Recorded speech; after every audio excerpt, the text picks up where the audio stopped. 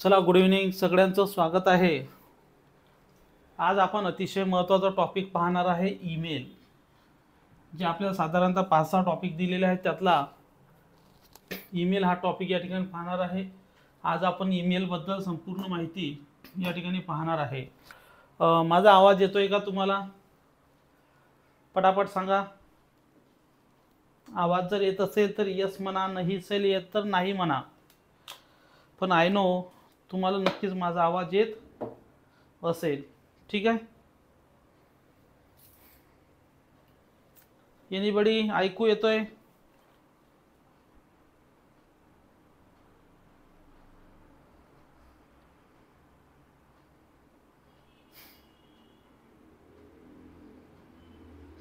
चला.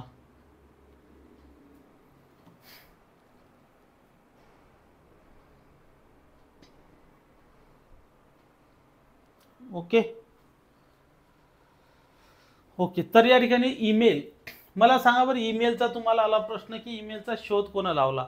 मला असं वाटतं त्या दिवशी सुद्धा मी या टॉपिकबद्दल थोडीफार चर्चा केली होती पी वाय क्यू आपण घेतले त्यावेळेस. थोडेफार पी वाय क्यू आपण होते तेवढे घेतले. तसे आपण नंतर सुद्धा घेऊया. तर मला सांगा बरं ईमेलचा जनक कोण आहे? Who discovered email email is a called as electronic mail electronic mail या शब्दाचं शॉर्टकट छोटं रूप आहे ईमेल की जो ईमेल तुम्ही किती पाठवतात मला माहिती नाही. परंतु कमीत कमी दिवसातून मी दहा ते वीस ईमेल नक्की पाठवतो. कारण की या ठिकाणी बोर्डावर आम्हाला जर फाईल पाठवायची असेल तर आम्ही ईमेल करतो. चोवीस तास आमचे ईमेल या ठिकाणी कसे असतात? उघडे असतात. कारण की आम्ही सगळं बोर्डवर ईमेल आहे. आम्ही ईमेलवर फाईल पाठवतो तिथून डाउनलोड करतो. प्रत्येकजण आपापल्या जीवनामध्ये ईमेलचा उपयोग करतो. आता कुठं कुठं उपयोग करतो ज्यावेळेस तुम्ही फॉर्म भरता त्यावेळेस तुमचा ईमेल आय डी टाकता. तुमचे हॉल तिकीट कुठे येतात ते सुद्धा ईमेलवर येतात. तुमचा रिझल्ट कुठे येतो तो सुद्धा तुम्हाला ईमेलवर येतो. तुमचा पासवर्ड कुठे येतो तो सुद्धा ईमेलवर येतो. तुमचा मोबाईलचा ओ टी पी सुद्धा तुमचा कुठे येतो ईमेलवर येतो. जर तुमच्या मोबाईलमध्ये ईमेल नसेल तर तुमचं यूट्यूबवर कमेंट करता येत नाही. जर तुमच्या मोबाईलमध्ये ईमेल नसेल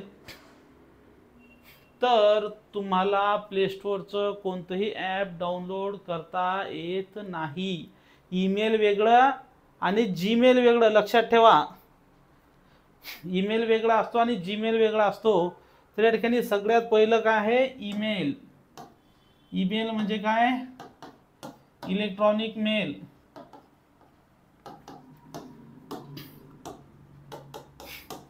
ज्या इलेक्ट्रॉनिक मेलचा शोध कोण लावलेला आहे? इलेक्ट्रॉनिक मेलचा शोध लावलेला रे टॉम लिंकन. कोण लावलेला आहे? रे टॉम लिंकन यांनी इलेक्ट्रॉनिक मेलचा शोध लावलेला आहे. आणि जी म्हण जीमेल म्हणजे गुगल मेल ईमेलचंच काय झालं?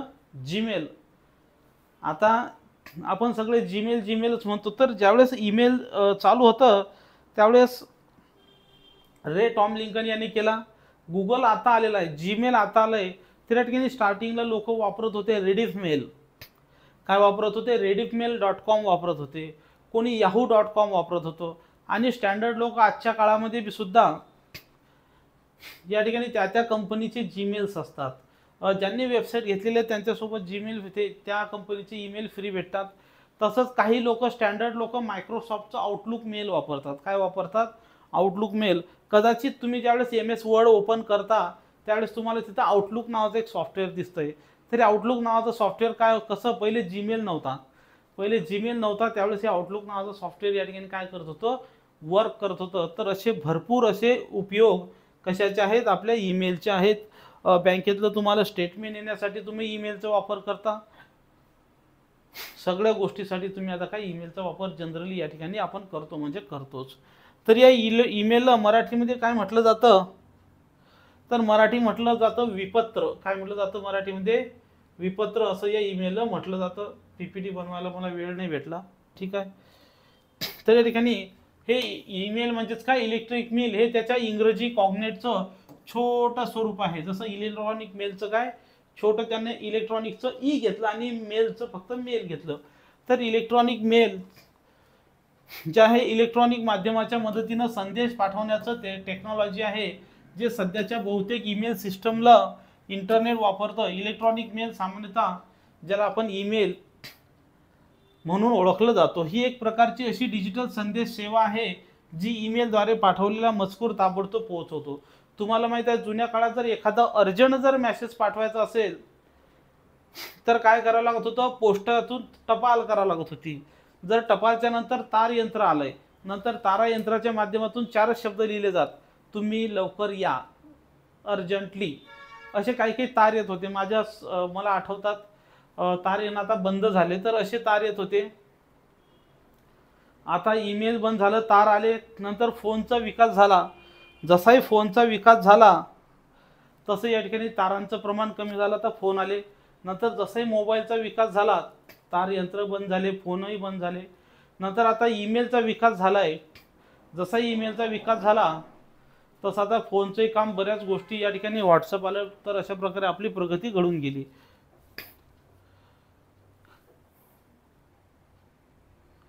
ठीक आहे तर या ठिकाणी संगणकार संगणकावर लेखानं टाईप केलेला किंवा लिहिलेला मजकूर इकडचा मजकूर डायरेक्ट फार थोड्या वेळात तिकडे जात होता. जोपर्यंत व्हॉट्सअप आला नाही तोपर्यंत आपल्याला वाटते एवढं सोपी नव्हतं मेसेज करणं.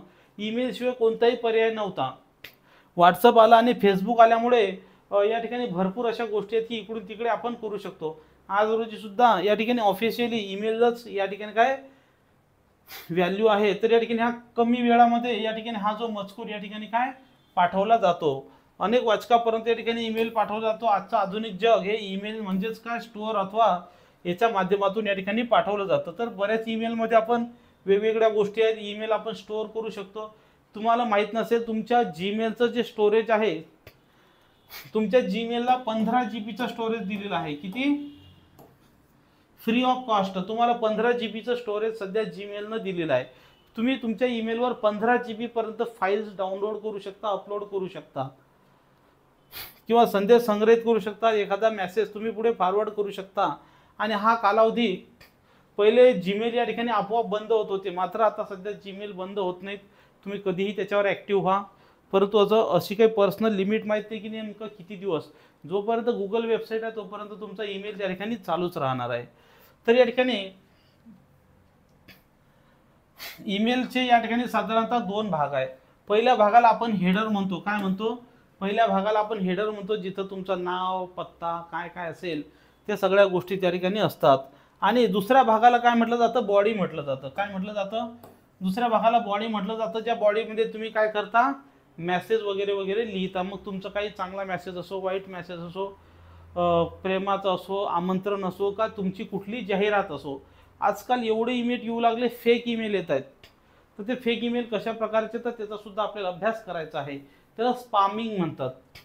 ईमेलमध्ये काही संज्ञा आहेत की जे परीक्षेमध्ये आपल्याला येतात स्पामिंग असेल फिशिंग असेल मालवेअर असेल ट्रॉजन हॉर्स असेल असे बरेचसे व्हायरस बिरस आहेत.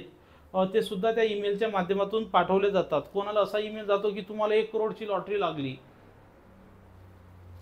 आमच्या कोको कोला कंपनीतर्फे कोको कोलाचं शंभरावं वर्ष असल्यामुळे आम्ही दहा लोकांना निवडलंय ज्याच्यामध्ये तुमचा नंबर लागलाय. असे फेक ईमेल सुद्धा असतात त्याला स्पामिंग म्हणतात. ईमेलसाठी काही फोल्डर सुद्धा असतात जंक फोल्डर असतंय. काही स्पाम फोल्डर असतं तर अशा बऱ्याचशा गोष्टीचा आपण अभ्यास करणार आहे. तर या ठिकाणी सुरुवातला ईमेलला फक्त लिखित संदर्भ पाठवण्यासाठी वापरलं जायचं. म्हणजे स्टार्टिंगला ईमेलमध्ये फक्त टेक्स्ट मेसेज केला जायचा. काय केला जायचा? टेक्स्ट मेसेज नंतर त्यांनी टेक्स्ट मेसेजची सुविधा काही जी पी जी इमेजेस पाठवण्यासाठी सुद्धा त्यांनी त्याचा वापर केला.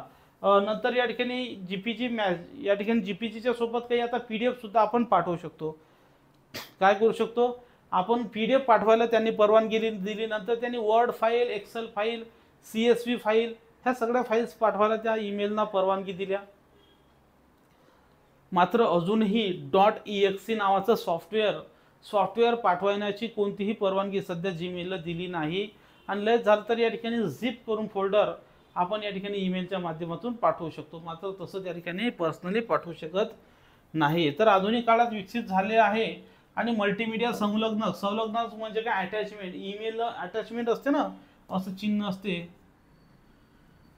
अटॅचमेंट या म्हणजे लहान आकाराच्या मल्टीमीडिया फाईल्स आपण याच्या माध्यमातून पाठवू शकतो. बहुउद्देशीय मेलचा या ठिकाणी विस्तार झाला ज्याला एम आय एम ई म्हटलं जातं. तर हे ईमेलच्या माध्यमातून ज्या एक्स्ट्रा काही करिक्युलर ॲक्टिव्हिटीज होऊ लागल्या त्या ॲक्टिव्हिटीजला आपण काय म्हणतो? एम आय एम ई म्हणजेच बहुउद्देशीय ईमेलचा विस्तार.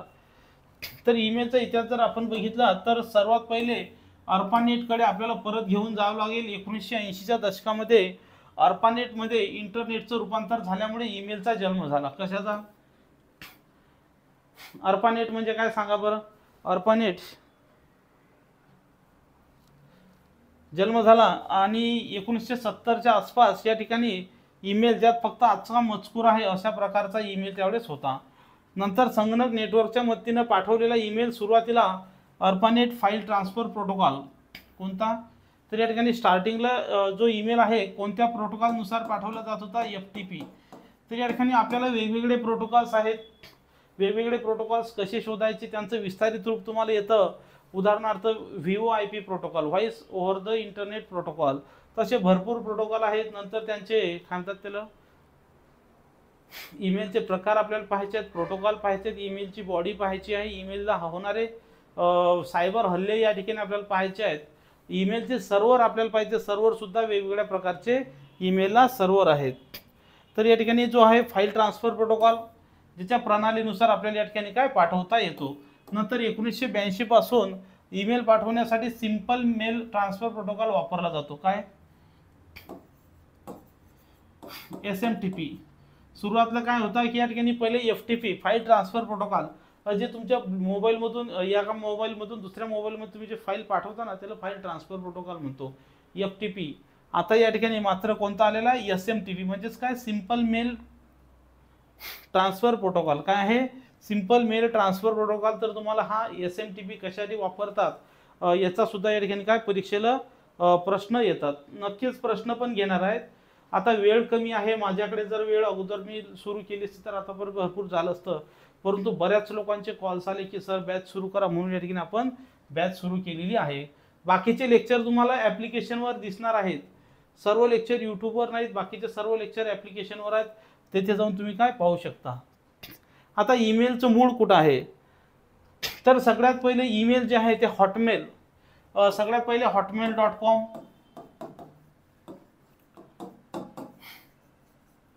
Hotmail dot कॉमवर सर्वात पहिले या ठिकाणी ईमेल पाठवला जात होता आणि सगळ्यांना हॉटमेल डॉट कॉमचे खाते या ठिकाणी कळायला जावत एकोणीसशे बहात्तरमध्ये रे टॉम लिंकन.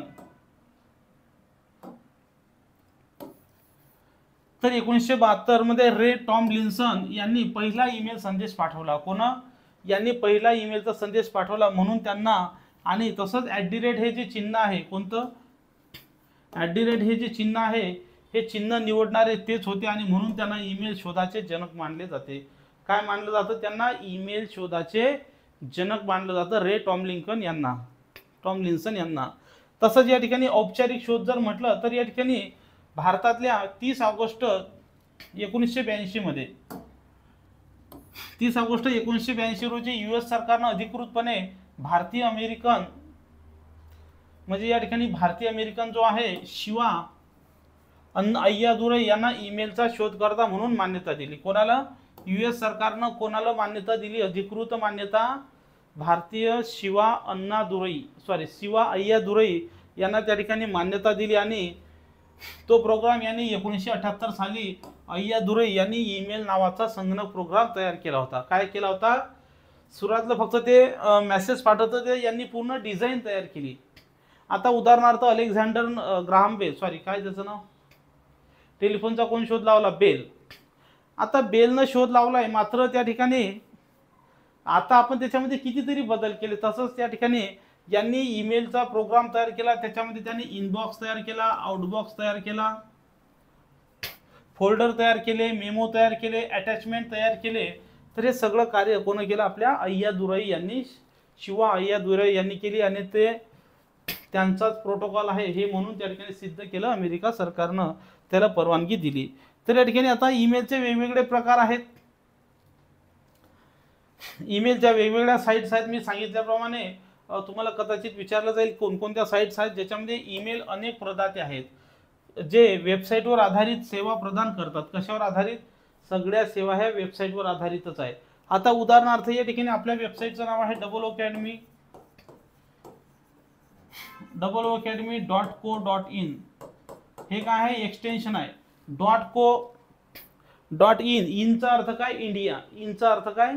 इंडिया तर या ठिकाणी वेबसाईटसुद्धा वेगवेगळ्या प्रकारचे असतात. तर या ठिकाणी आता मला जर माझा ईमेल तयार करायचा असेल तर मी काय करेल? Padam at the rate double academy dot co dot in तुम्ही काय करसाल? तुमच्याकडे तुमची वेबसाईट असेल तर तुम्ही ठीक नसेल तर तुम्ही काय करणार? Padam at the rate Gmail dot com तुम्ही जीमेल डॉट कॉम काय घेणार?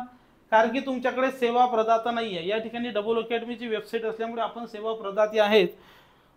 म्हणून या ठिकाणी Padam at the rate Gmail dot com help at the rate double academy dot com help at the rate Amazon dot com help support at the rate Idea dot com अशा वेगवेगळ्या website ज्या आहेत तर ते नावं स्वतः या ठिकाणी घेऊ शकतो. सध्या आपण फ्रीमध्ये वापरतो. म्हणून या ठिकाणी Hotmail dot com Yahoo dot com mail dot com Outlook dot com Gmail dot com तर या ठिकाणी सध्या जगामध्ये सर्वात जास्त खाते कोणाचे आहेत? सर्वात जास्त खाते जीमेल डॉट कॉमचे आहेत. कशाचे आहेत? सर्वात जास्त खाते जीमेल डॉट कॉमचे आहेत. आणि आउटलुक डॉट कॉम कोणाचं आहे? आउटलुक डॉट कॉम हे मायक्रोसॉफ्टच्या मालकीचं आहे. कोणाचं आहे? मायक्रोसॉफ्ट कंपनी आहे. बिल गेट्स त्याच्या मालकीचं आहे. आउटलुक डॉट कॉम आता सुद्धा तुम्हाला तुमच्या कम्प्युटरमध्ये जर अकाउंट ओपन करायचं असेल तुमचं तर तुम्हाला एम एस आउटलुकचं खातं ओपन करावं लागतं. कोणत्याही वेब प्रकार ब्राउझरचं त्याच्या वेबसाईटवर लॉग इन करू शकतो. त्याचे ईमेल आपण पाहू शकतो किंवा पाठवू शकतो. हे सगळे कोणते ईमेल पूर्व डाउनलोड करत नाहीत. त्यामुळे ईमेल उघडताना तुम्हाला इंटरनेटची आवश्यकता आहे. ईमेल उघडायला काय पाहिजे? इंटरनेटची आवश्यकता पाहिजे. तर या ठिकाणी हा तुमच्यासमोर मी एक ईमेलचा फोटो आणलेला आहे. या ईमेलच्या फोटोमध्ये तुम्हाला या ठिकाणी एवढं कळून चुकते की हा ईमेल आहे. तर ॲक्च्युली हा जो जुन्या प्रकारचा ईमेल आहे लेटेस्टवाला नाही. तर या ईमेलमध्ये तुम्हाला दिसतंय का नसेल दिसत तर सांगतो बघा. इथं बटनाचं नाव आहे सेंड नावाचं बटन आहे. इथं सेव्ह नाव नावाचं बटन आहे. इथं डिस्कार्ड नावाचं बटन आहे. इथं लेबल आहेत L E B L S labels आहेत. तर या ठिकाणी हे वेगवेगळे बटन आहेत. तर या ठिकाणी फॉर्म सगळ्यात पहिले येते की तुम्ही ईमेल कोण पाठवत आहे? त्याला म्हटलं जातं फ्रॉम उदाहरणार्थ मी ईमेल पाठवत असेल तर माझा ईमेल आय डी आहे Padam at the rate Gmail dot com original नाही बरं ओरिजिनल दुसरा आहे. Padam at the rate Gmail dot com पाठवणारा. आता समजा पाठवायचं कोणाला? पाठव ज्याला मी पाठवत आहे त्याचं नाव असेल इथं टू मी ज्याला पहिला माझा प्रायमरी युजर मी कोणाला पाठवत आहे? उदाहरणार्थ मी पाठवत असेल सायलीला तर मग या ठिकाणी Sayali at the rate Gmail dot com किंवा सायलीचं खातं जीमेल डॉट कॉमवर नसेल कदाचित कोणत्या याहू डॉट कॉमवर असेल तर मग Sayali at the rate Yahoo dot com जर मला सेम ईमेल दोघांना जर पाठवायचा असेल तर मी कॉमा देऊन दोन ईमेल सुद्धा पाठवू शकतो. काय करू शकतो? मी कॉमा देऊन दोन ईमेलसुद्धा पाठवू शकतो. नंतर या ठिकाणी आता मला असं वाटतं समजा मी एका मी एका ऑफिसमध्ये समजा आपण डबल अकॅडमीच्या ऑफिसला आहे मी काय केलं? मला एक ईमेल सायलीला पाठवायचा होता आणि एक समजा ईमेल इथे एखादी मोनाली असेल तर मोनालीला पाठवायचा असतो. मी कॉमा करून त्या दोघांना पाठवला. आणि मला असं वाटलं पाहिजे वाटते की त्यांचं हेड ऑफ डिपार्टमेंट जो पण असेल त्यालासुद्धा मी मेल केलेलंची त्याच्याकडे माहिती असायला पाहिजे. तर मी काय करणार? त्याची एक carbon copy C C C C म्हणजे काय? कार्बन कॉपी त्या समोरच्या व्यक्तीला सुद्धा पाठवणार. उदाहरणार्थ या ठिकाणी आमचा राजू नावाचा एक मॅनेजर असेल तर Raju at the rate Gmail dot com तर या ठिकाणी होणार काय? हा जो राजू आहे कार्बन कॉपी तो फक्त तो मेल पाहू शकतो. तो काय करू शकतो? तो मेल पाहू शकतो. तो मेल फॉरवर्ड करू शकत नाही. मात्र हे जे प्रायमरी युजर आहेत सायली असेल मोनाली असेल हे प्रायमरी युजर काय करतात? तो मी दुसऱ्याला सुद्धा पाठवू शकतात. कार्बन कॉपी तुम्हाला माहीत आहे कार्बन कॉपी नुसतं पाहण्यासाठी असते. कार्बन कॉपीवर तुम्ही काही बदल करून होतो का नाही तुम्हाला ओरिजिनल फाईलवर बदल करायचं. तर या ठिकाणी हे असते सी सी म्हणजेच काय? कार्बन कॉपी आणि दुसरी असते बी सी सी मला असं वाटलं की अजूनही माझ्या एखाद्या एम्प्लॉईला माहीत असायला पाहिजे की मी हा ईमेल केला म्हणजे कोणं म्हणू नको की मला तुम्ही सांगितलं नाही मला मेल केला नाही. तर या ठिकाणी मेल म्हणजे एक कायदेशीर माध्यम असते. मग या ठिकाणी मी परत बी सी सी समजा आमचा गणेश नावाचा मास्तर असेल Ganesh at the rate Gmail dot com त्याचा जो बी काय ॲड्रेस असेल तर त्याला मी पाठवतो. तर हे ॲट दी रेट आहे. ॲट दी रेटच्या इकडे जीमेल असू द्या डबल अकॅडमी डॉट कॉम असू द्या अमेझॉन डॉट कॉम असू द्या हॉटमेल डॉट कॉम असू द्या याला म्हटलं जातं डोमेन याला काय म्हटलं जातं? वेबसाईट डोमेन नेम असं या ठिकाणी म्हटलं जातं. आणि हे आहे वापरकर्त्याचं नाव. पहिलं जे नाव असते त्याला काय म्हटलं जातं? वापरकर्त्याचं नाव म्हटलं जातं आणि दुसरं आहे डोमेन तर अशा प्रकारे आपल्या ईमेलचा हा आहे वरचा पार्ट या वरच्या पार्टला काय म्हणतो आपण? मग सांगितलं मी. तर ईमेलचे दोन भाग आहेत. वरच्या पार्टला म्हणतो आपण हेडर आणि इथून पासून जो खालचा पार्ट आहे त्याला म्हणतो आपण बॉडी काय म्हणतो त्याला? त्याला आपण बॉडी म्हणतो. या ईमेलला हा वरचा पार्ट ज्याच्यामध्ये फॉर्म आहे टू आहे सी सी आहे बी सी सी आहे blind carbon copy carbon copy to from from म्हणजे ज्याच्यापासून असेल तो नंतर याच्या खाली आहे सब्जेक्ट याच्या खाली काय आहे मग विषय? आता मला काय लिहून पाठवायचा असेल विषय विषय असेल की या ठिकाणी आप दिवाळीची सुट्टी पाच दिवस असण्याबाबत. समजा जो बी मला काही महत्त्वाचा पूर्ण मेसेजचा एक मथडा एका दोन तीन शब्दात जर सांगायचं असेल तर त्याला म्हटलं जातं विशेष. आता उदाहरणार्थ तुमच्या घराचं घराजवळ जर नाली खराब झाली असेल तुम्ही जर महानगरपालिकेला ईमेल लिहिला तर तुम्ही तेवढंच लिहिणार. की नाली दुरुस्त करण्याबाबत. बाकी मग खाली तुमचं ईमेलमध्ये लिहिणार. तर अशा प्रकारे या ठिकाणी असते. नंतर खाली आले तुम्ही की या ठिकाणी तुम्हाला अटॅच फाईल तुम्ही एखादी फाईल याला पाठवू शकता. कदाचित तुमच्या घराचे खड्ड्याचे रस्ते किंवा या ठिकाणी मी जर पाठवू असेल तर काही महत्त्वाची माहिती त्याचे फोटो अटॅच फाईलमध्ये पाठवू शकतो. फोटो ज्या पाठवतो आपण त्याच्यामध्ये वेगवेगळे फॉर्मॅट असतात. जी पी जी फॉर्मॅट असतो. नंतर जी पी ई जी नावाचा फॉर्मॅट असतो. नंतर बी एम पी नावाचा फॉर्मॅट असतो. नंतर जी आय एफ नावाचा फॉर्मॅट असतो. तर हे सगळे काय आहेत? कम्प्युटरचे फॉर्मॅट त्याच्या अगोदर काय लागलेलं असतं? डॉट लागलेलं असतो. किंवा तुम्हाला एम पी थ्री पाठवायची असेल माहिती एखादी तर एम पी थ्री पाठवतो की नुसता आवाज. किंवा तुम्हाला एखादा व्हिडिओ पाठवायचा असेल तर एम पी फोर पाठवू शकता. तर हे वेगवेगळे फॉर्मॅटच्या माध्यमातून आपण तिथून काय सगळी माहिती पाठवतो. फक्त डॉट ई एक्स सी तुम्हाला परीक्षेत जो प्रश्न आला होता तर डॉट ई एक्स सी नावाची फाईल मात्र या ठिकाणी आपण सॉफ्टवेअर पाठवू शकत नाही. ते सॉफ्टवेअर पाठवू शकतो मात्र ते तुम्हाला झिप फोल्डरमध्ये करावं लागेल. काय करावं लागेल? झिप करावं लागेल कॉम्प्रेस करावं लागेल. एका फोल्डरमध्ये पॅक करावं लागेल. जसं तुम्ही तुम्ही एखाद्या भूताला एखाद्या शिशीत पॅक करता तसंच ते फोल्डर पॅक करायचं असते. उदाहरणार्थ झिप का करतात? एखादी फाईल जर पाचशे एम बी असेल तर ते झिप केली की किती एम बी होते? वीस एम बीच्या आसपासच होते. किती? दहा ते वीस एम बीपर्यंत त्याची साईज होते. त्यासाठी तुम्ही झिप करू शकता. कॉम्प्रेस करू शकता. तर या ठिकाणी अशा प्रकारे मग तुमच्याकडे ऑप्शन येते. मग नंतर तुमच्याकडे येते बॉडी तुमच्याकडे काय येते? ईमेलची बॉडी येते. मग या बॉडीमध्ये तुम्हाला काय लिहायचं असेल तो ईमेल लिहिता आणि हा ईमेल लिहिणं झाला की काही काही ठिकाणी इथं सेंड नावाचं बटन असते. कुठं असते? इथं सेंड नावाचं बटन असते किंवा इथं डिस्कार्ड नावाचं बटन असते. जर तुम्ही सेंड केला तर तो ईमेल सेंड होतो. जर तुम्ही डिस्कार्ड केला तर तो ईमेल डायरेक्ट जागेवर येतो. म्हणजे कोरा होऊन जातो. तर अशा प्रकारे तुम्ही या ईमेलला सेंड करू शकता किंवा डिस्कार्ड करू शकता किंवा कधी कधी तुम्हाला जर वाटलं की नाही मला पाठवायचं नाही फक्त मला जमा करून ठेवायचं तर तुम्ही ड्राफ्टमध्ये सेव्ह सुद्धा करू शकता आणि तुम्हाला वाटेल तेव्हा तुम्ही तो पाठवू शकता. तर अशा प्रकारे वेगवेगळ्या क्रिया आपण या ईमेलवर काय करू शकतो? ठीक आहे? तर अशा पद्धतीनं आपण काय ईमेलला या ठिकाणी वेगवेगळ्या गोष्टी करू शकतो. इथं लेबल आहे. काय आहे? लेबल या लेबलमध्ये तुम्ही वेग ईमेलचे वेगवेगळे वर्गीकरण करू शकता. इम्पॉर्टंट असतील इम्पॉर्टंट बँकिंगचे असतील बँकिंग काही लेबल तुम्ही स्वतःसुद्धा तयार करू शकता. इथं तुम्हाला टूल बॉक्स दिलेला आहे. इथं काय तुम्हाला टेक्स्ट बॉक्स आहे? कुठं तुम्हाला लिंक जोडायची कुठं तुम्हाला इमोजी जोडायची? तुमचा फॉन्टचा कलर कोणता पाहिजे? फॉन्ट लहान पाहिजे मोठा पाहिजे बोल्ड पाहिजे इटॅलिक पाहिजे अंडरलाईन पाहिजे. इन्व्हर्टेड कॉमा पाहिजे प्लेन टेक्स्ट पाहिजे डिझाईन पाहिजे याचं अलाइनमेंट ह्या सगळ्या गोष्टी तुम्हाला या ठिकाणी काय जोडू शकता. तुम्ही ह्या सगळ्या गोष्टी काय करू शकता?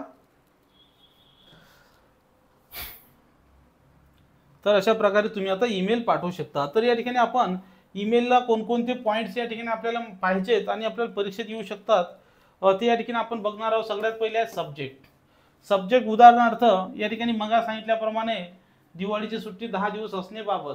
तर या ठिकाणी इथं उदाहरण दिलेलं आहे meeting request for project discussion तर या ठिकाणी काय ईमेल आहे? मुख्य मुद्दा काय की बाबा या ठिकाणी मीटिंग आहे. या ठिकाणी प्रोजेक्ट डिस्कशनबद्दल तुम्ही यायचं आहे. नंतर या ठिकाणी एक्सप्लेनेशनमध्ये काय असणार आहे तुमचं? एक्झाम्पलमध्ये सॅल्युटेशनमध्ये dear sir dear madam dear husband dear काय असेल नसेल ते. आणि I am inform you that our project discussion will be held on that that day on that time you will be come असं काय असेल ते लिहिलं जातं. नंतर इंट्रोडक्शन इंट्रोडक्शन बघा पहिले आहे सॅल्युटेशन सॅल्युटेशन म्हणजे जे काय असेल मान सन्मानाचे शब्द. नंतर या ठिकाणी इंट्रोडक्शन द्यायचं की I am writing this that that so and जे काय असेल ते. नंतर पुढे मॅसेज असेल. I wanted discuss discuss the recent development in our project and proposal meeting to give our details नंतर या ठिकाणी प्रपोज किंवा रिक्वेस्ट असू शकते की तुम्ही या किंवा या भेटा भेट द्या. नंतर या ठिकाणी उदाहरणार्थ मी सांगितल्याप्रमाणे तुम्हाला जो टाईम द्यायचा असेल I would appreciate if you could schedule a meeting propose date जे काय असेल ते and address any concern plan or our next steps नंतर ॲडिशनल डिटेल्स जर काही असेल उदाहरणार्थ तुम्ही एखादा फोटो पाठवला असेल मॅप पाठवला असेल तर त्या ठिकाणी अटॅच करून तुम्ही ती फाईल पाठवू शकता. आणि शेवटी क्लोजिंग तुमचं काय असेल ईमेलमध्ये पाठवताना तुम्हाला thank you for your time and concentration I look forward to your response आणि साइन ऑफ तर या ठिकाणी तुम्ही साईन आउट आणि साईन ऑफ सुद्धा करू शकता. किंवा साईन आउट तुम्हाला माहिती आहे ईमेलमध्ये साईन इन करायचं प्रवेश करायचा आणि साईन आउट म्हणजे प्रवेश निघून याचा तर असं सुद्धा फंक्शन असतात. शेवटी मग या ठिकाणी बेस्ट रिगार्ड शेवटी आणि तुमचं नाव वगैरे तुम्ही पाठवून देऊ शकता. बाकी मग मी तुम्हाला सांगितलं की सी सी काय ईमेल काय बी सी सी काय हे तुम्हाला परीक्षेत प्रश्न येतात म्हणजे येतात. आता या ठिकाणी हा जो आहे ईमेलचा मेनू बार आहे. काय आहे? हा ईमेलचा मेनू बार आहे. या ठिकाणी तुमचं जे ईमेल आहे या ठिकाणी तुमचा ईमेलचा फोटो दिग दिसत असतो. या ठिकाणी तुम्ही क्लिक केलं की तुम्हाला लॉग इन किंवा लॉग आउट तुम्हाला करता येते. काय ते?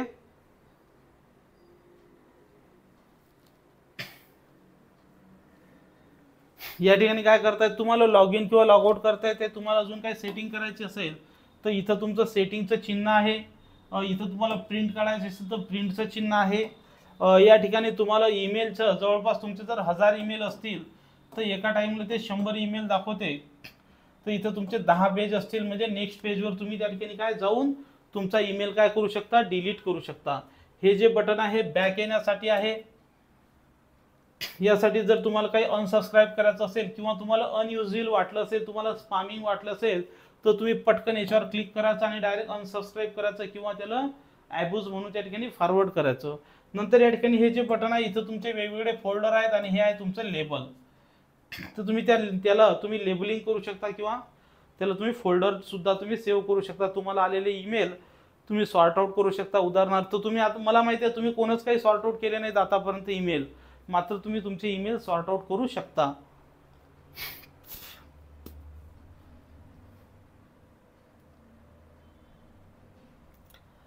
नंतर या ठिकाणी हा आहे ईमेलचा सर्च बॉक्स हा काय आहे? हा ईमेलचा सर्च बॉक्स आहे. उदाहरणार्थ तुम्हाला जर तुमचे ईमेल चेक करायचे असतील कोणाकडून आले कोणाकडून नाही इथं जर तुम्ही उदाहरणार्थ बँक लिहिलं तर या ठिकाणी बँककडून जेवढे पण ईमेल असतील तुमचे त्या ठिकाणी काय सर्च होतात. तर हा आहे ईमेलचा सर्च बॉक्स नंतर या ठिकाणी तुमचं ईमेलचं नोटिफिकेशन आहे. त्याचं बटन तुम्हाला ऑन करायचं का ऑफ करायचं ते तुम्हाला बघायचं आहे. इथं मोरमध्ये मोर ऑप्शन आहेत. नंतर या ठिकाणी हा आहे ईमेलचा ॲक्च्युअलमध्ये हा ईमेलचा आणि हा जीमेलचा आहे. कारण की गुगल काय आहे? जीमेल आहे. तर या ठिकाणी बघा तुम्हाला परीक्षेत प्रश्न विचारला जाईल की नवीन ईमेल लिहिण्यासाठी काय म्हणतात? काय प्रश्न असेल? नवीन ईमेल लिहिण्यासाठी काय म्हणतात? तर नवीन ईमेल जर लिहायचं असेल तर त्याला कंपोज म्हणतात. काय म्हणतात? कंपोज म्हणतात. कंपोजवर क्लिक केलं की न्यू ईमेलचा text box body folder builder तुमचं सगळं काय ओपन होते. नंतर या ठिकाणी काही मेसेज जर तुम्ही काही मेसेजला स्टार्ट केलं असेल तर हे स्टार्टेड मेसेज तुम्हाला स्टारेड मेसेज दिसतात. ज्या ज्या मेसेजला तुम्हाला ईमेलला तुम्ही स्टार केलं असेल ते सगळे स्टार दिसतात. त्याच्यानंतर आहे सेंट मेल काही मेलमध्ये फक्त सेंट नाव असते काहीमध्ये सेंट मेल आहे. तर एखाद्या ब्राउझरमध्ये कदाचित सेंट मेल असू शकते एखाद्या ब्राउझरमध्ये सेंट असेल. तर या ठिकाणी सेंट मेलमध्ये तुम्ही कोणाला ईमेल पाठवले ते सगळे स्टोअर करण्याचं काम सेंट मेल करतं. आता इथं आहे ड्राफ्ट काही ईमेल तुम्ही पाठवले नाही फक्त लिहूनच ठेवले. तर त्याला काय म्हटलं जातं? ड्राफ्ट ड्राफ्टला मराठीत म्हणतात मसुदा. काय म्हटलं जातं? मसुदा म्हटलं जातं. नंतर या ठिकाणी तुम्ही उदाहरणार्थ फोल्डर बनवलं असेल फॅमिली आणि फ्रेंड्स त्याच्यात टाकणार. तुम्ही जर फोल्डर म्युझिकचं बनवलं असेल नोट्सचं बनवलं असेल पर्सनल बनवलं असेल फोटोग्राफी बनवलं असेल इथं एक चिन्ह असते. याच्यावर तुम्हाला कम क्लिक केलं की लेस किंवा क्लिक केलं तर मोर असं त्या ठिकाणी डेटा दिसतो. या ठिकाणी तुम्ही कदाचित बघा बाय डिफॉल्ट फोल्डर या ठिकाणी हे बाय डिफॉल्टर हे जे आहे याला लेबलिंग म्हणते. दिसतंय का तुम्हाला? फॅमिली फ्रेंडला हा कलर म्युझिकला हा कलर नोट्सला हा कलर पर्सनलला हा कलर फोटोग्राफीला हा कलर तर हे यांनी लेबल तयार केलेलं आहे. त्या त्यानुसार तुम्ही तुमच्या ईमेलचं लेबलिंग करू शकता. नंतर या ठिकाणी लेस करू शकता. मात्र हे बाय डिफॉल्ट आहेत. हे स्वतः तयार केलेले आहेत. लेबल जे आहेत ते स्वतः आपण तयार करतो. मात्र मेनू आहे ते आपोआप तयार असतात. उदाहरणार्थ इम्पॉर्टंट मेनू इथे एक असं चिन्ह असते. कसं असते? असं चिन्ह असते. या चिन्हावर तुम्ही जर क्लिक केलं की पिवळं होते आणि ते डायरेक्ट इम्पॉर्टंट बॉक्समध्ये चाललं जातं. नंतर या ठिकाणी चॅटिंगमध्ये इथं जर कोणी तुमच्या ईमेलवरचे जर लाईव्ह असतील तर इथं तुम्हाला ग्रीन सिग्नल दिसतो. कोणता सिग्नल दिसतो? ग्रीन सिग्नल दिसतो. त्याच्या माध्यमातून तुम्ही चॅटिंग करू शकता. इथं क्लिक केली की तुमचे ऑल मेल आहेत. इथं आहे स्पाम तर या ज्या ज्या मोबाईलला तुम्ही काय केलं असेल लक्षात ठेवा प्रत्येक प्रश्न तुम्हाला विचारला जाणार. ज्या ज्या मेलला तुम्ही काय केलं असेल स्पाम केलं असेल मी सांगितलं तुम्हाला वरच्या बाजूनं स्पाम बटन आहे. तर ते सगळे मेल स्पाममध्ये जातात जाहिरातमध्ये जातात. नंतर जो ईमेल तुम्ही डिलीट केला असेल त्या ईमेल तो ईमेल कुठं जातो? ट्रॅशमध्ये जातो. जो ईमेल तुम्ही डिलीट केला असेल तो ईमेल तुमचा कशामध्ये जातो? ट्रॅश नावाच्या सेक्शनमध्ये जातं. आणि तेथून तुम्ही हे सगळं करू शकता. बाकी मग या ठिकाणी तुमचं तुमचा ऑप्शन आहे.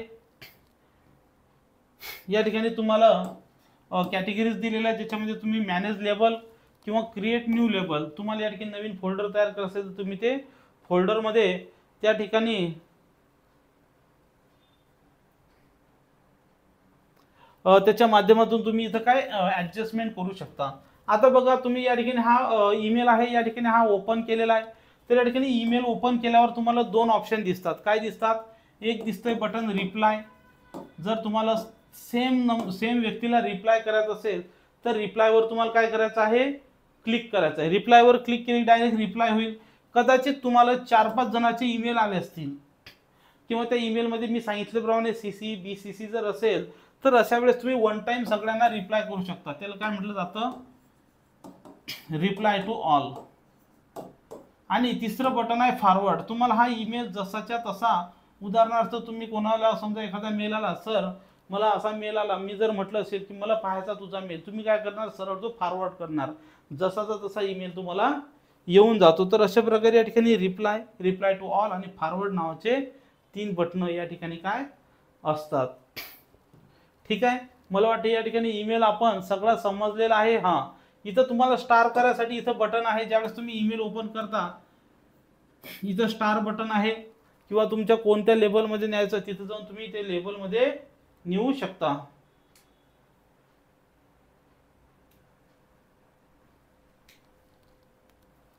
ठीक आहे? तर अशा तऱ्हेनं मित्रांनो आपण या ठिकाणी काय ईमेलचा सगळा इतिहास भूगोल पाहिलेला आहे.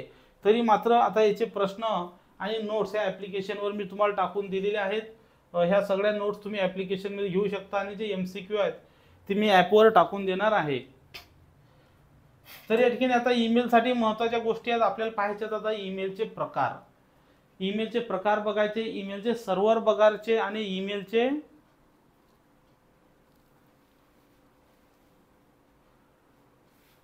सिक्युरिटी बघायची. ईमेलची सिक्युरिटी आता बऱ्याच वेळेस ईमेल हॅक होतात. तुमच्या माहितीसाठी ईमेल हॅक आता उदाहरणार्थ डबल अकॅडमीची वेबसाईट आहे. तुम्हाला जर डबल अकॅडमीची वेबसाईट हॅक करायची असेल तर तुम्ही वेबसाईट हॅक करू शकत नाही. तुम्हाला पहिले ईमेल हॅक करावा लागेल. कारण की वेबसाईटचा पासवर्ड कुठे येत असतो? ईमेलमध्ये येत असतो. मोबाईलमध्ये नाही ईमेलमध्ये येतो. त्यामुळे जर तुम्ही ईमेलहून लॉग इन केलं ईमेल जर हॅक केला तर ईमेलमध्ये पूर्ण सगळा डेटा तुम्हाला दिसून जाईल. त्यासाठी ईमेल सिक्युरिटी करणं सुद्धा काय महत्त्वाचं आहे? तर बघा आता P O P three email server आता P O P three email server कसं कधी वापरलं जातं? तुमचा मोबाईल जर बघितलं तर तुमच्या मोबाईलमध्ये दोन गोष्टी दिसतात तुम्हाला. काय दिसतात? तुमच्या मोबाईलमध्ये एक ईमेल नाव दिसते आणि एक जीमेल नाव दिसते. काय दिसते? तुमच्या मोबाईलमध्ये एक ईमेल नाव दिसते आणि एक जीमेल नाव दिसते. तर तुमच्यापैकी बरेच जण काय करतात? जीमेल ओपन करतात. काय करतात? बरेच जण जीमेल ओपन करतात. मात्र बिझनेसवाले लोक जे बिझनेस पर्सन लोक आहेत ते बिझनेस पर्सन लोक काय करतात? ईमेल ओपन करतात. काय करतात? ईमेल कारण की त्यांच्या कंपनीनं त्यांना ईमेल दिलेला असतो कंपनीच्या कामासाठी. बऱ्याच कंपन्या त्यांचा डेटा सिक्युअर राहावा म्हणून किंवा त्यांचा एम्प्लॉई काय काय तीर मारतोय कोणाला काय ईमेल करतो किंवा काय असेल त्या सगळ्या गोष्टी कळण्यासाठी त्यांचं बिझनेस ईमेल दिला जातो. म्हणजे त्या ईमेलचा ॲड्रेस काय असतो? त्या कंपनीचा ईमेलचा ॲड्रेस असतो. तर या ठिकाणी जे आहे तर तुम्हाला तुमच्या मोबाईलमध्ये आता तुम्हाला तुमच्या कंपनीचा ईमेल जर तुमच्या मोबाईलमध्ये ओपन करायचा असेल तर तुम्हाला या ईमेलमध्ये जायचं आहे. जीमेलमध्ये जीमेल ओपन होतो. जीमेलमध्ये डब्ल्यू या ठिकाणी जीमेलमध्ये समजा Padam at the rate Amazon dot com हा माझा ईमेल आय डी आहे. तर हा Padam at the rate Amazon dot com email I D तुमच्या जीमेलमध्ये लॉग इन करून नाही होणार तर तो कुठं लॉग इन करून होईल? तुमच्या ईमेल सेक्शनला लॉग इन होईल. आणि याच ईमेल सेक्शनमध्ये जर तुम्हाला लॉग इन करायचं असेल तर तुम्हाला P O P three email server वापरावं लागतं. कोणतं? P O P three email server वापरावं लागतं. अशा वेळेस तुम्ही मग रिट्राय करून त्या ठिकाणी कनेक्शन करून तुमचे ईमेल जे आहेत हे तुमच्या या डॉट कॉमचे ईमेल तुमच्या मोबाईलमध्ये तुम्ही ओपन करू शकता. त्याच्यासाठी हा काय मेल सर्व्हर आहे. तर हा जो सर्व्हर आहे पोस्ट ऑफिस प्रोटोकॉल लक्षात ठेवा पीओपी थ्रीला काय म्हटलं जातं? पोस्ट ऑफिस प्रोटोकॉल थ्री मध्ये ग्राहक मेल सर्व्हरद्वारे ॲप्लिकेशनला वितरित केले जातात आणि संदेश पाहतात. एकदा संदेश प्राप्त झाल्यानंतर तो सहसा सर सर्व्हरवरून हटवला जातो. अशा प्रकारे जेव्हा कोणताही ईमेल डाउनलोड केला जातो तेव्हा तो सर्व्हरवरून देखील काढून टाकला जातो. तथापैकी काही ग्राहकाकडे असा पर्याय देखील असतो जेणेकरून तो संदेश डाउनलोड केल्यानंतर तो सर्व्हरमध्ये देखील राहतो. बऱ्याच वेळेस या ठिकाणी काही ईमेल असे असतात की जे आपोआप गायब होतात. तुम्ही पिक्चर पाहत असाल एखादा व्हिडिओ दिला जातो. जनरली रॉवाले लोक तो व्हिडिओ पाहिला की तो परत पाहता येत नाही तो डायरेक्ट ठुसकन ती कॅसेट आपोआप खराब होते तसंच ईमेल असतात. काही ईमेल फक्त तुम्हाला दिसतात पाहिले की नंतर गायब होऊन जातात. तरी एक P O P three server आहे दुसरा सर्व्हर आहे I M A P server I M A P email server ज्याला म्हटलं जातं इंटरनेट मॅसेज ॲक्सेस प्रोटोकॉल काय म्हटलं जातं? इंटरनेट मॅसेज ॲक्सेस प्रोटोकॉल तुम्हाला तुमचे ईमेल वाचू किंवा हटवू सुद्धा देते. म्हणजे इथं तुम्हाला दोन्ही परवानगी असतात. किंवा अनेक उपकरणावर. म्हणजेच आता उदाहरणार्थ माझा जो ईमेल आय डी आहे याच्यावर सुद्धा लॉग इन आहे. माझ्याकडे दुसरा मोबाईल आहे त्याच्यावर सुद्धा लॉग इन आहे. आणि माझा लॅपटॉप आहे तिथं सुद्धा लॉग इन आहे. काही ईमेल फक्त एकाच ठिकाणी लॉग इन होतात. आता उदाहरणार्थ आपलं ॲप आहे डबल ओ अकॅडमीचं ते तुम्हाला वेबसाईटवर सुद्धा लॉग इन करता येते आणि तुमच्या अँड्रॉइड फोनवर पण लॉग इन करता येते. मात्र आम्ही अशी सिस्टम केलेली आहे की एकच व्यक्ती दोन ठिकाणी पाहू नये. किती? म्हणून त्या ठिकाणी एकतर तुमचं आपोआप तुमच्या मोबाईलचं ॲप लॉगआउट होते एकतर तुमच्या वेबसाईटचं ॲप लॉगआउट होते. दोन्ही ठिकाणी वन टाईम तुम्ही पाहू शकत नाही. तसंच या ईमेलचं आहे. काही ईमेल तुम्ही फक्त एकाच याच्यावर पाहू शकता. काही ईमेल तुम्ही अनेक ठिकाणी ओपन करून बघू शकता. तर हे जे सर्व्हर आहे या सर्व्हर तुम्हाला काय करते? अनेक ठिकाणी ईमेल ओपन करण्याची परवानगी देते.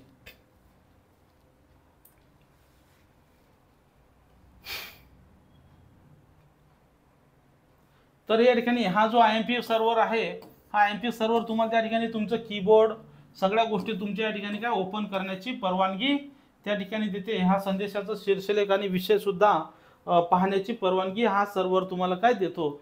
यासाठी डिव्हाइसला रीड करण्याची विनंती अर्थात प्रत्येक मेसेज डाउनलोड करण्याची आवश्यकता आहे. आता या ठिकाणी तुम्ही म्हणसाल आम्ही ईमेल वाचला तर ईमेल वाचणार कसं? बघा प्रत्येक गोष्टीसाठी एक सर्व्हर असते. हा तुमचा मोबाईल आहे. हा मोबाईल इंटरनेटच्या माध्यमातून या तुमच्या सर्व्हरला जोडलेला असतो. ज्यावेळेस तुम्हाला मोबाईल ओपन करायचा असते त्यावेळेस तुम्ही ईमेल ओपन करण्यासाठी रिक्वेस्ट पाठवलेली असते. काय असते? रिक्वेस्ट पाठवलेली असते. तर ह्या सगळ्या रिक्वेस्ट या सर्व्हरवर येत असतात. आता तुमच्यापैकी बरेच जण म्हणतात की ही वेबसाईट लवकर उघडत नाही माझा मोबाईल लवकर उघडत नाही. ॲक्च्युअलमध्ये तो प्रॉब्लेम तुमचा नसतो. तर तो प्रॉब्लेम या सर्व्हरवर असतात. आता या सर्व्हरवर किती रिक्वेस्ट येतात? सर्व्हरवर एकाच टाईमला आता उदाहरणार्थ तुम्ही एखाद्या दुकानात गेले तिथं एकच माणूस उभा आहे आणि तुम्ही जर दहा जण कस्टमर गेले तो काय करेल? एकेकाला मोकळं करेल. तसं सर्व्हरचं आहे. तर या ठिकाणी हजारो जण जर या ठिकाणी या सर्व्हरची कॅपॅसिटी आहे वीस समजा दोन हजार ईमेलची या ईमेलवर जर जवळपास पाच हजार लोकांनी ईमेल स्टोअर केले असतील आणि पाच हजार लोक ईमेलला जर ओपन करायची परवानगी मागत असतील तर त्याची कॅपॅसिटी नसते. त्यामुळे तो तुमचा ईमेल असू द्या तुमचं वेब ब्राउझर असू द्या ईमेल असो का तुम्ही ईमेलला काही तुम्ही सर्च करत असाल त्या सगळ्या गोष्टीला रिक्वेस्ट पाठवावं लागते. कुठं? तर ते सर्व्हरवर रिक्वेस्ट पाठवले जाते. मग सर्व्हर रिक्वेस्ट घेतली की ॲक्सेप्ट करते आणि परत तुम्हाला रिव्हर्समध्ये डेटा येत असतो. ते या ठिकाणी दुसरं सर्व्हर आहे मॅपी नावाचं सर्व्हर. तर हे आहे मेसेजिंग ॲप्लिकेशन प्रोग्रामिंग इंटरफेस काय आहे आय एम पी आय वेगळं आणि हे आहे आता मॅपी नावाचं या ठिकाणी सर्व्हर जे मायक्रोसॉफ्ट विंडोजसाठी एक ए पी आय क्रिएट करतं. काय करते? ए पी आय आता ज्यांनी कोडिंग केलेली आहे त्यांना या ठिकाणी ए पी आय कळून जातो की या ठिकाणी असा एक ए पी आय असतो की जो तो घेतला की आपोआप तुमचं मोबाईल त्या वेबसाईटमध्ये किंवा ती वेबसाईट तुमच्या मोबाईलमध्ये जशी तशी वर्क करू शकते. हा तुम्हाला तुमच्या प्रोग्राममध्ये ईमेल कार्यक्षमता जोडण्याची परवानगी देते आणि हे सामान्यतः मायक्रोसॉफ्ट एक्सचेंज सर्व्हरशी कनेक्ट करण्यासाठी वापरलं जातं. आता या ठिकाणी भारत सरकारने हिंदीमध्ये सुद्धा ईमेल आणलेला आहे आणि ते ईमेलसाठी तुम्हाला सगळ्यांना माहिती आहे. गुगल इंडिक नावाचं टायपिंग टूल आहे. आता जवळपास भारतातल्या महाराष्ट्रातल्या प्रत्येकाच्या मोबाईलमध्ये मराठीमधलं किंवा इंग्रजीतलं हिंदीतलं टूल त्या ठिकाणी आहे जे आपण हिंदीमधून सुद्धा या ठिकाणी आता काय टाईप करू शकतो. आता या ठिकाणी काही लोकप्रिय ईमेल सेवा उदाहरणार्थ जीमेल सर्वात जास्त आपण कोणती वापरतो? जीमेल नंतर दुसरी आहे याहू याहू डॉट कॉम तिसरी आहे बिंग डॉट कॉम तर हे सर्च इंजिन बघा याहू बिंग आणि रेडिफ मेल हे काय आहेत? ॲक्च्युअलमध्ये हे आहेत सर्च इंजिन आहेत. काय आहेत? सफारी असेल किंवा तुम्ही जे वापरता फायरफॉक्स असेल मायक्रोसॉफ्ट इंटरनेट एक्सप्लोरर असेल तर हे सगळे काय सर्च इंजिनसुद्धा आहेत आणि जीमेलचे ईमेलचे हे सुद्धा आहेत. नंतर Hotmail dot com E Patra dot com Sify dot com India Times dot com Japan mail dot com O L dot com किंवा double academy dot co dot in जे काय असतील असे पर्सनल या ठिकाणी एओ एल म्हणजेच काय? America online एओएलचा अर्थ काय? बघा सगळ्यात पहिले अमेरिका ऑनलाईन नावाची वेबसाईट होती A O L dot com तर याच्या माध्यमातून सगळे ईमेल त्या ठिकाणी चालत होते. आता ईमेलचे प्रोटोकॉल्स तर या ठिकाणी ईमेलचे प्रोटोकॉल्स या ठिकाणी आपण मगाच बघितलं की ईमेल पाठवण्यासाठी वाचण्यासाठी कोणता प्रोटोकॉल आहे? ज्यावेळेस मी मगा सांगितलं की तुम्हाला प्रायव्हेट कंपनीचा किंवा प्रायव्हेट वेबसाईटचा जर तुम्हाला ईमेल तुमच्या ॲप्लिकेशनवर ओपन करायचा असेल तुमच्या मोबाईलमध्ये जर ओपन करायचं असेल तर तुम्हाला काय टाकावा लागतो? हा प्रोटोकॉल आहे. कोणता आहे? एस एम टी एस नावाचा प्रोटोकॉल जो सिंपल मेल ट्रान्सफर प्रोटोकॉल आहे ज्यावेळेस तुम्ही सेटिंगमध्ये जाता त्यावेळेस तुम्हाला आकडे विचारते. तर त्याचा जो पोर्ट आहे तो आहे पंचवीस नंबरचा. आणि हा जो पी ओ पी प्रोटोकॉल आहे ज्याला आपण पोस्ट ऑफिस प्रोटोकॉल म्हणतो याचा पोर्ट आहे एकशे दहा. किती आहे? याचा पोर्ट एकशे दहा आहे. तर अशा माध्यमातून या ठिकाणी तो तुमचा ईमेल तुम्ही काय त्या ठिकाणी काय? ओपन करू शकता. नंतर पी ओ पी प्रोटोकॉलचा आहे. या ठिकाणी स्थानिक लोकल डिव्हाइसवर ईमेल पुनर्प्राप्त करण्यासाठी हा वापरला जातो. आणि याचा मानक पोर्ट आहे एकशे दहा. साधारणपणे स्थानिक लोकल डिव्हाइसवर ईमेल ओपन करते आणि त्यांना सर्व्हरवरून काढूनसुद्धा टाकते. नंतर I M E P program protocol आहे जो पी ओ पी थ्री प्रमाणेच आहे. मात्र या ठिकाणी ईमेल सर्व्हरवर ठेवण्याची आणि एकाधिक डिव्हायसेसवर लॉग इन करण्याची अनुमती देते. लक्षात ठेवा. पी ओ पी प्रोटोकॉल हा एक नॉर्मल प्रोटोकॉल आहे. ज्याच्यावर फक्त डाउनलोड करता येते सेव्ह करता येत नाही ठेवता येत नाही. मात्र आय एम पी प्रोटोकॉल ज्याला काय म्हटलं जातं? आय एम ए पी म्हणजेच काय? इंटरनेट मेसेज ॲक्सेस प्रोटोकॉल तर हा त्या ठिकाणी ठेवतो आणि अनुमती देतो. आणि काही काही मेसेज काही काही कनेक्शन एक एन्क्रिप्टेड असतात. काय असतात? एन्क्रिप्टेड म्हणजे आपल्या भाषेत जर म्हटलं तर कोडिंगमध्ये असतात. की जे कोणीही ओपन करू शकत नाही.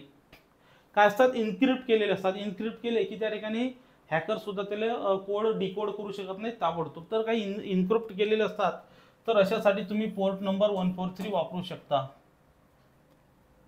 सॉरी एन्क्रिप्ट नसलेल्यांसाठी वन फोर थ्री वापरू शकता. आणि जर तुमचा कोड एन्क्रिप्ट असेल जर तुम्हाला एन्क्रिप्टेड मेसेज येत असतील तर तुम्ही नाईन नाईन थ्री नावाचा हा जो पोर्ट कोड आहे कशाचा? आय एम ए पीचा वापरू शकता. बाकी मग काही S M T P S नावाचे प्रोटोकॉल आहे जे अत्यंत सिक्युअर असतात. काय असतात? अत्यंत सिक्युअर असतात. ज्याला काय म्हटलं जातं? Simple mail transfer protocol plus S आता बघा आपली जी वेबसाईट आहे आपल्या वेबसाईट काही website H T P P S असतात. सॉरी काही वेबसाईट हे एच टी टी पी असतात. काय असतात? Hyper text hyper text protocol आणि काही वेबसाईट असे असतात H T T P S म्हणजे यस लावलं की त्या सिक्युअर असतात. तर यस काय येतं? तर हे काय एस एस एल सर्टिफिकेट असते. कोणतं सर्टिफिकेट असते? एस एस एल सर्टिफिकेट किंवा टी एस एल सर्टिफिकेट असते की जे सिक्युरिटी देण्याचं कार्य करतं. याचा पोर्ट जो आहे एस एम टी एसचा याचा आहे फोर सिक्स फाईव्ह नंबरचा पोर्ट आहे. नंतर आहे I M A I M P A S protocol जे सिम्पलच आहे. फक्त याला सिक्युरिटी दिलेली आहे. काय दिलेली आहे? सिक्युरिटी बघा काही वेबसाईट आहे एस टी टी पी असतात. तर S T T P P website S T T P S करण्यासाठी आपल्याला पैसे द्यावे लागतात. जसं की आम्ही सुद्धा सिक्युरिटी देण्यासाठी यस घेण्यासाठी त्याला प्रयत्न पैसे दिले. साधारणतः दोन तीन हजार रुपये एका वर्षाचे आपल्याला ते एस टी टी पी एसचं जे एस एस एल सर्टिफिकेट आहे. ते घेण्यासाठी काय लागत असतात? नंतर हा inter internet message access protocol पण काय? सिक्युअर नावाचा आहे. तर ही आय एम पीचे जे एक सुधारित आवृत्ती आहे ज्याच्यामध्ये ईमेल क्लायंट आणि सर्व्हरमधील संप्रेषण एन्क्रिप्ट करण्याचं काम करते. काय करते? हे एन्क्रिप्ट म्हणजेच काय? सिक्युअर करण्याचं काम करते आणि याचा पोर्ट नंबर आहे नाईन नाईन थ्री आहे. नंतर P O P three S तर या ठिकाणी पी ओ पी थ्रीला काय? यस आहे. फक्त काय? सिक्युअर करण्याचं काम करण्याचं काम करते. जे पुनर्प्राप्तीसाठी एन्क्रिप्शन करते याचा port number nine nine five आहे. नंतर मॅपी तर हा मॅपी नावाचा प्रोग्राम आहे ज्याचं messaging application for programming interface तर हा काय मायक्रोसॉफ्ट एक्सचेंज सर्व्हरसह संप्रेषणासाठी मायक्रोसॉफ्ट आउटलुक मी मग सांगितलं तुम्हाला तुमच्या लॅपटॉपमध्ये मोबाईल आउटलुक असते. जसं तुम्ही एम एस वर्ड शिकले ना M S word PowerPoint आणि त्या ठिकाणी राईट क्लिक करा तुम्ही कम्प्युटरवर तुम्हाला दिसून येईल. जनरली हे व्यावसायिक वातावरणामध्ये वापरलं जातं आता मात्र सामान्य झालेलं आहे. नंतर आहे एक्सचेंज बघा या ठिकाणी तुमच्या मोबाईलवर हे असं बटन येत असेल. काय ते? बरेच वेळेस तुमचं असं बटन येते तर असं बटन आलं की याचा अर्थ तुम्ही काय करता ते? सिंक्रोनाइज करता. म्हणजेच काय? अपडेट करता. तर या ठिकाणी तुमचे ईमेल संपर्क कॅलेंडर सर्व्हर मोबाईल डिव्हाइसच्या दरम्यान कार्य संक्रमित करण्यासाठीचा हा प्रोटोकॉल आहे. ॲक्टिव्ह सिंक्रोनाइज सामान्यतः मायक्रोसॉफ्ट एक्सचेंजच्या संयोगाने मोबाईल उपकरणासाठी वापरला जातो. हे प्रोटोकॉल ईमेल सिस्टमच्या योग्य कार्यासाठी आवश्यक आहेत आणि त्याचा वापर सुरक्षा आवश्यकता डिव्हाइसेसवर सिंक्रोनायझेशन बघा मग सांगितलं की सिंक्रोनायझेशन करण्यासाठी म्हणजे तुमच्याकडे उदाहरणार्थ तुम्ही व्हॉट्सअपवर दहा वीस नंबर लिहिले की सध्या जर पन्नास दिसत असतील तर तुम्ही रिफ्रेश करता. बरोबर जे एक्स्ट्रा नंबर आहेत ते तुम्हाला दिसतात. तर याचं काय? सिंक्रोनाइज करण्यासाठी हा प्रोटोकॉल वापरला जातो. नंतर आता ईमेल सिक्युरिटी आहे. तर ईमेल सिक्युरिटी असेल ह्या ज्या गोष्टी असतील फिशिंग बिसिंग या ठिकाणी आहे मालवेअर असतील या ठिकाणी ईमेल इंटरप्सेशन असतील डोमेन स्पुमिंग असेल तर ह्या ज्या मालवेअरचे काही टाईप्स असतील virus worms Trojan horse ransomware तर हे सगळे स्पायवेअर हे आपण सगळे ॲडवेअर हे सगळे आपण काय उद्याच्या लेक्चरमध्ये ॲप्लिकेशनमध्ये पाहणार आहे. ठीक आहे? तर ज्यांनी बॅच जॉईन केली असेल त्यांचं धन्यवाद. ज्यांनी नसेल केले ते पटापट बॅच जॉईन करून घ्या. उद्या आपलं लेक्चर ॲप्लिकेशनवर नऊ वाजता असणार आहे. थँक्यू बाकीचा आपण ईमेलचा पार्ट उद्या बघूया दुसरा.